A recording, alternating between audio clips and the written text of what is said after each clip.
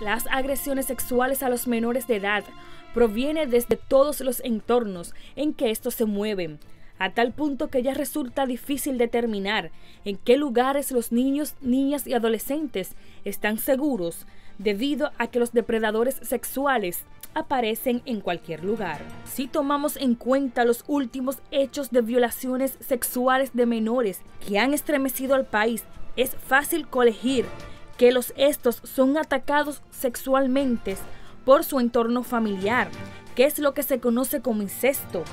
En los centros educativos donde acuden a recibir el pan de la enseñanza, y como si todo eso fuera poco, hasta en los templos religiosos donde acuden a tener una cercanía con Dios, pero que en muchas ocasiones se encuentran con el mismo infierno. Es decir, que donde se supone que los niños, niñas y adolescentes están seguros, en sus casas protegidos con el amor familiar, en las escuelas recibiendo su formación académica e integral, y en las iglesias absorbiendo los valores religiosos, ninguno de esos tres lugares son garantías de respeto a su sexualidad, pues allí también le acecha el peligro. Para muestra basta un botón. Recientemente dos figuras públicas, un funcionario y un comunicador, fueron acusados y guardan prisión por supuestamente haber violado a sus hijastras. Un niño fue agredido sexualmente en su escuela pública de la capital por un estudiante de mayor edad y por lo menos dos sacerdotes también están acusados judicialmente por agredir a menores que acudían a los templos católicos donde oficiaban misa. Tal es el caso del sacerdote José Altagracia Rosario González, quien fue enviado a prisión por tres meses de manera preventiva, señalado de abusar sexualmente de una menor de edad en la provincia de Monte Plata. Este es un tema que seguirá atravesando a la iglesia como a la sociedad misma.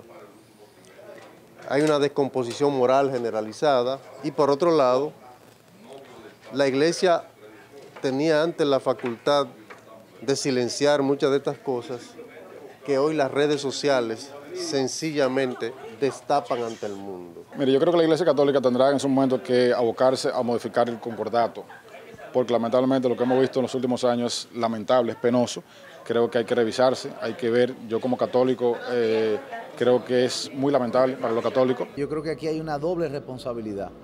Primero por el horrendo hecho y después porque ha eh, eh, defraudado la confianza que le da la iglesia, que, que le da la ciudadanía. Y yo creo que debe de ser castigado con la mayor pena tiene que ser un castigo ejemplar. Para el alto jerarca de la Iglesia Católica, el obispo emérito de la Arquidiócesis de Santiago, Ramón Benito de la Rosa y Carpio, resulta inconcebible que sacerdotes estén incurrumpiendo en el crimen de agredir sexualmente a menores y al tal virtud pide sanciones judiciales ejemplares para quienes traicionan a Dios y a su feligresía. Eh, primero hay que seguir la justicia porque ahí hay una violación que es criminal, no es una falta cualquiera, es una falta muy seria y tienen que ir a los tribunales y separarlo de la iglesia es el peso que siempre ha tenido la iglesia frente a todo este tipo de faltas. Visto esos acontecimientos, hay un mensaje claro para los padres y las madres de los niños, niñas y adolescentes de que con sus hijos no le deben tener confianza a nadie, aunque dolorosamente también hay padres que han abusado sexualmente de sus vástagos. Nairobi Ureña, paso a paso.